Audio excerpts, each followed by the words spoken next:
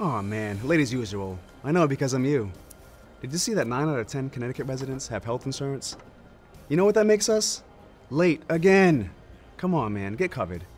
And turn your cell phone off.